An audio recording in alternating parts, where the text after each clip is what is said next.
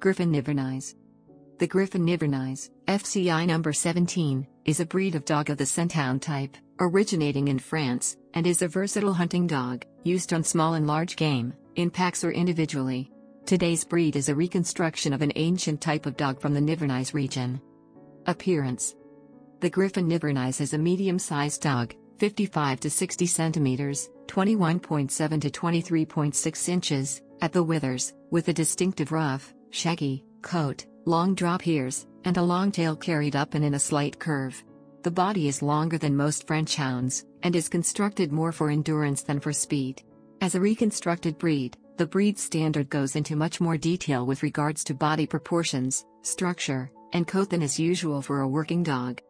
Color of the coat is grizzled in general appearance, gris clair to gris sanglier, light gray to boar gray. The coat is agouti, with each hair darker at the base than the tip. White hairs are scattered through the coat. Colors are fawn very slightly overlaid with black, poil de lièvre, hair coat, sable overlaid with black, gris loup, wolf gray, and fawn overlaid with blue, gris blue, gray blue. Dot There may be a small white spot on the chest. History The Griffon Nivernais was a breed kept by French noblemen which disappeared after the French Revolution.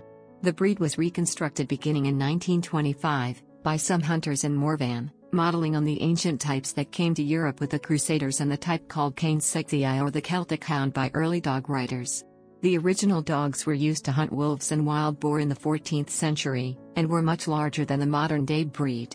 The reconstruction of the breed was done based on the Grand Griffon Vendéen. Other breeds used were the Otterhound and Foxhounds. The breed was small in number for many years, but is now experiencing a revival. Health and temperament.